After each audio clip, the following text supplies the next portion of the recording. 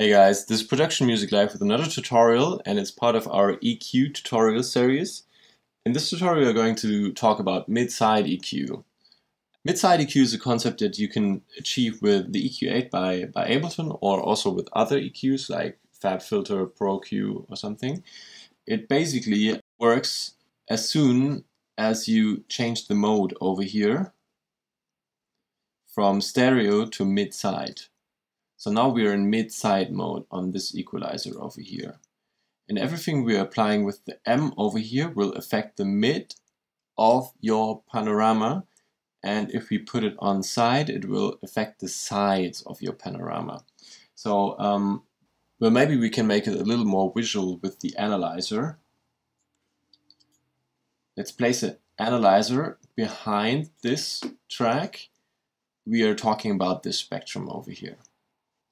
And I'm going to do that on two tracks of the same sound. So I'm going to copy this analyzer and place it here as well. I'm going to put that track on a mid-side mode as well. So I want to work with two pad sounds over here and I don't want them to interfere too much. I want one of the pad sounds to really lay in the middle of our audio panorama without having too much reverbs and I want the other one, the other pad, to be in the back on the sides and have a lot of reverb. So let's try to achieve this with mid-side. I'm soloing the first one.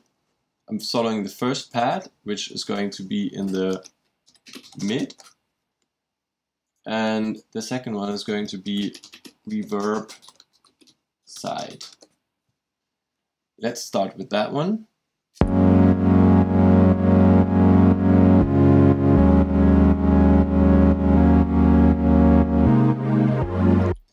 See if I open up the chorus effect, the chorus will take everything to the sides immediately. And if I close it down,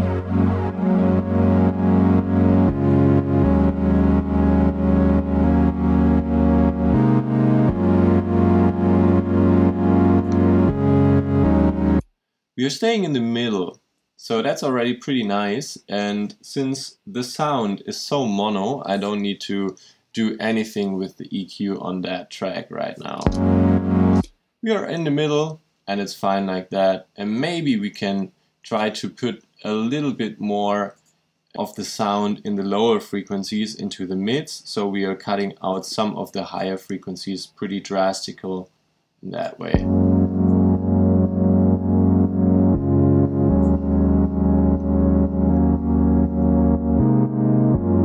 Can see something over here. Let's take down the chorus.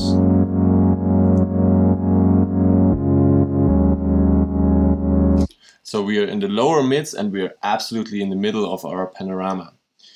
And now um, I'd like to do the opposite with the second one, with the second pad. Let's analyze this over here. First I want to open it up a little bit.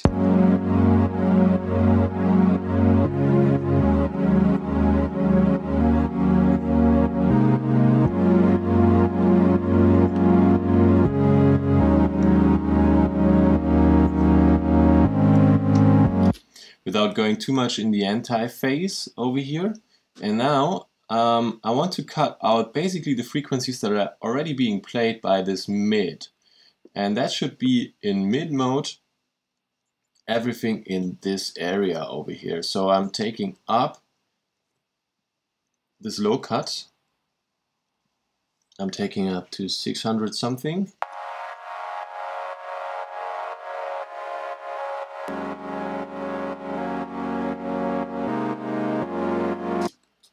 So um, this stuff doesn't appear in the middle anymore and now we are going to the side.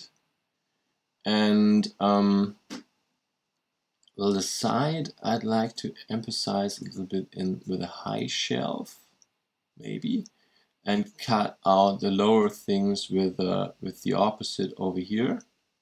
So that's what I want to apply on the sides. Higher frequencies yes. Lower frequencies no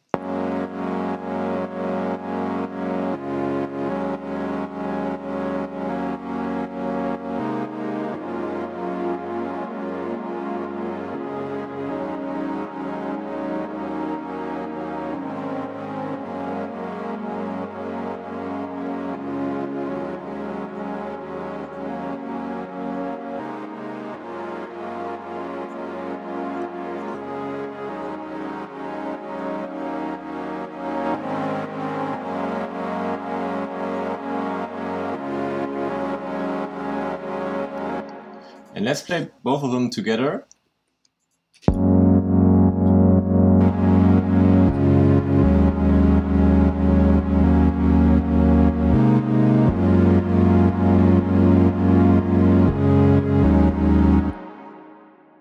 Of the first track, uh, in the middle, the warm signal and we have this reverb paddy signal of the other one on the sides and we achieve that effect mainly by uh, mid-side EQing. So getting everything into the middle and into the lower mid frequencies of your spectrum on that track over here and taking exactly the opposite direction by cutting those out and, and leaving just those higher frequencies in the middle. Maybe we could even take them more out over here and emphasizing the side high frequencies for that pad and also playing a reverb along.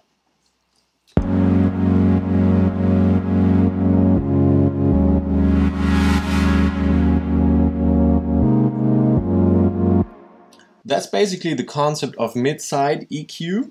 You can also do that with left-right but that's part of another tutorial. And I hope you get the concept, you enjoyed this tutorial. If you're interested in uh, how to make this sound and this track over here, we have a complete tutorial on that. I'm going to put a link in there. Post your comments below and subscribe to our channel and I hope to see you next time.